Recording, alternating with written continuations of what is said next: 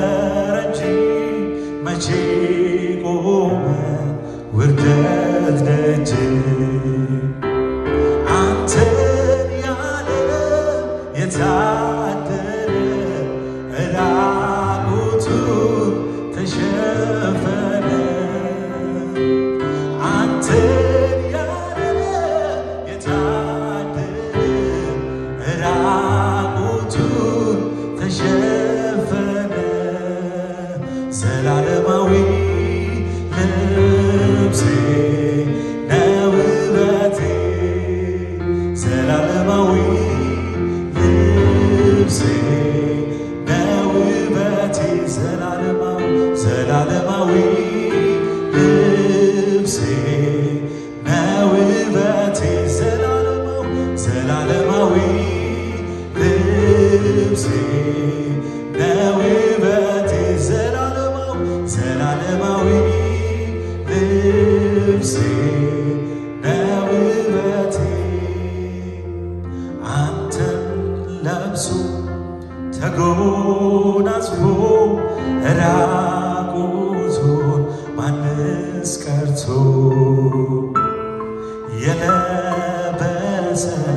cantar.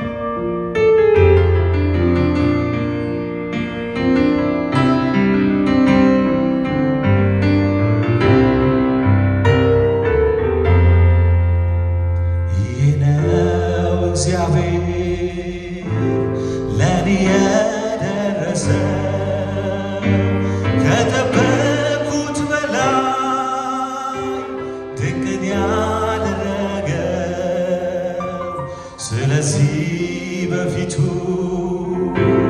ምስጋና ሰዋለ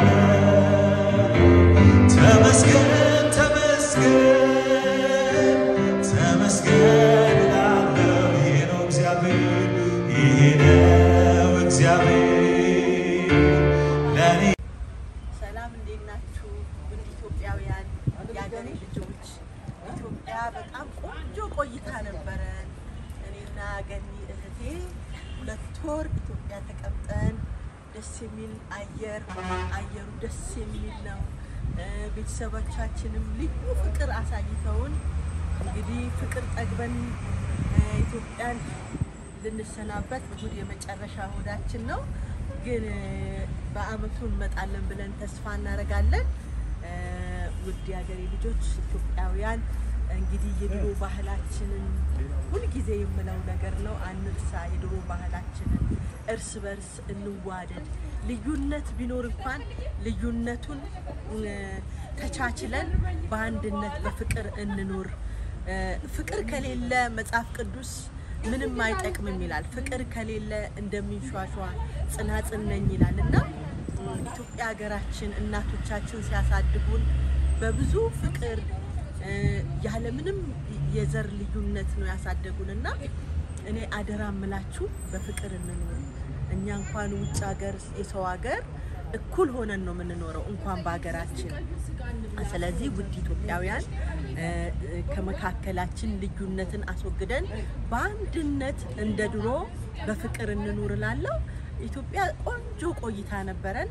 አሁንም ለሀገራችን ሰላም፣ ፍቅር፣ ብልጽግና እንመኛለን። ለቤተሰቦቻችን ጤና እንመኛለን እና ውድ ቻናሌ ቤተሰቦች ይህንን ማስተላለፍ እፈልጋለሁ። በጣም እወዳችኋለሁ። የሚቀጥለውን ደግሞ በኋላ አሳያችኋለሁ። bye bye።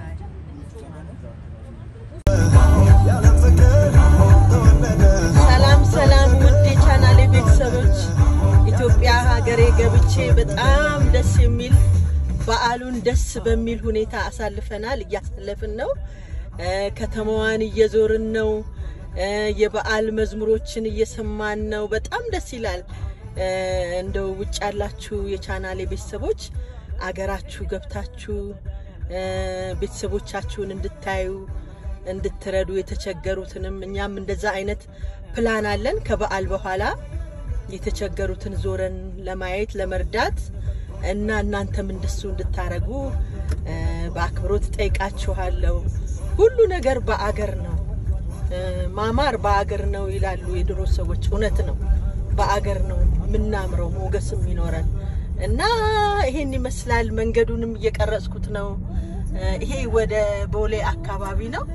ሰማዩ ራሱ እንዴት ደስ ይላል። ኢትዮጵያ ሀገራችን እኮ ሀያ አራት ወር ፀሐይ ነው። ምንም እንትን የለውም፣ ብርድ የለውም፣ ምን የለውም እና በዚህ ራሱ ቱሪስትን መሳብ እንችላለን። እና በቃ ሀገራችንን እኛ አክብረን ከያዝናት ሌሎች ደግሞ ያከብራሉ ማለት ነው። ቤታችንን ስናከብር ሌላው ሰው ደግሞ የእኛን ቤት ስናከብር ሌላው ሰው ደግሞ ያከብርልናል። አገራችንን ስናከብር ስንንከባከብ ሌሎችም ይንከባከቡልናል እና አንድ እንሁን። አንድነት ነው የሚያዋጣን። በአንድ ሆነን አገራችንን እናሳድጋት እላለሁ። ይሁላችሁ በዓልን ይህን ይመስላል። እንኳን ለክርስቶስ የልደት በዓል አደረሳችሁ ውድ የቻናሌ ቤተሰቦች። በቃ መንገዱ ሁሉ በጣም ነው የሚያምረው። ወንድሞቼም ከኋላ አሉ። ፈቃደኛ ከሆኑ interview ላርጋችሁ። እንኳን አደረሳችሁ እያሉ ነው። እንኳን አደረሳችሁ እያሉ ነው። እና ደግሞ አንድ የወንድሜ ሰርግ አለ። እሱንም ደግሞ ቀርጬ አሳያችኋለሁ። እና ይህን ይመስላል በዓል። የሚቀጥለውን ደግሞ እናየዋለን።